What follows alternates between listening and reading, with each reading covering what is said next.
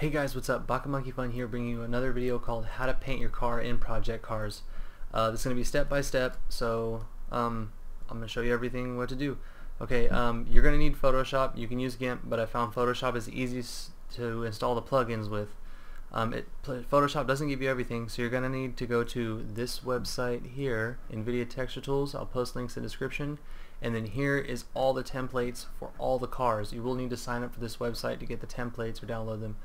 So let's get started on the, okay, um, oh, what else? After you install the plugins for Photoshop, go here and hit refresh. I found out the uh, format popped up in Photoshop after I hit refresh on desktop.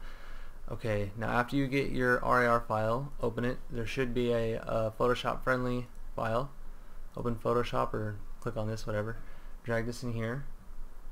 This pops up. Okay, paint only on this layer, the one on the right is checkered. So I, I don't, the wireframes stay there, so I don't know if deleting the layer will mess that up or mess up the whole design of the car. I have no idea, so I haven't messed with that yet. Um, feel free to do that in your own videos, or own videos, on your own time. Sorry, um, okay, let's do this. Just do a little test.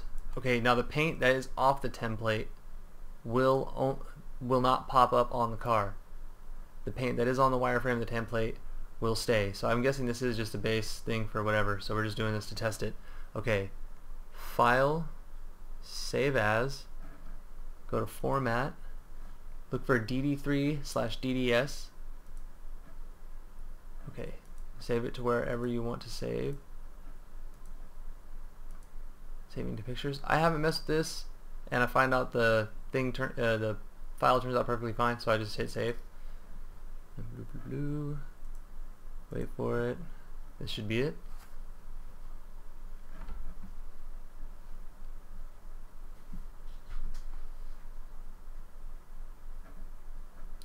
Still replacing?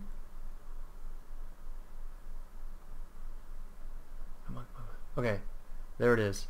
Okay, here's the really important part. Go to whatever file or program files, 3286, whatever yours is your Steam is located in. Sorry about that.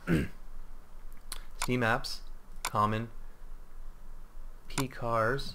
Okay, this is the easiest way I found to find liveries. Just click on the uh, top right search bar. Sorry, my mouse is off. I have my screen upside down due to the mount that it's on. Um, go to the search bar in the top right corner, put in livery. Okay, see the .dds files? Highlight, right click, open file location. Okay, here's the other important part. Or, okay, this is the actually actual important part that I was mentioning before. See the one the DDS files that say player, the ones that I'm highlighting. They say uh, livery player.dds. You only want to replace those files. You do not want to leave these files in here because I think it'll confuse the game. But you only want to replace the the files that say player livery player.dds. Okay. Now what I found and I like uh, what I do is rename, copy, leave that there. Now what I'm going to do is go to pictures, go to the DDS file that I did just make or paint, insert, alright, there we go.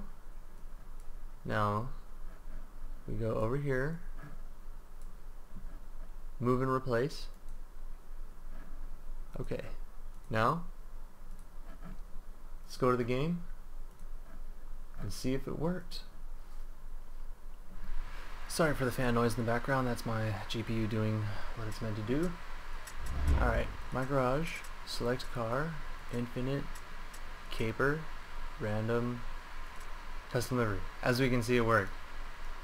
Oh, how do I get the custom spin? Okay, but as we can see it worked. Is, okay, hold on, take photo. Yep, see look, there's the long swoop. There's it all.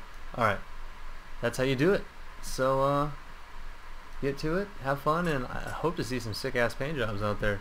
I don't know if I've come across any yet.